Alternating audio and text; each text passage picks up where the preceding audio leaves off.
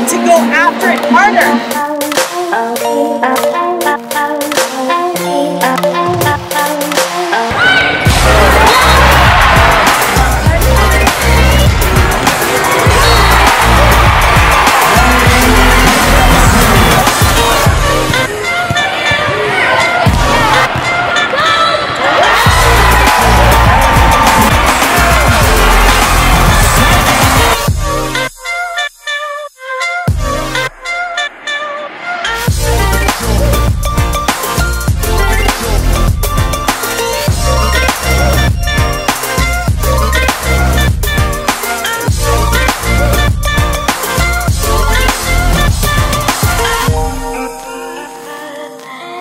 Thank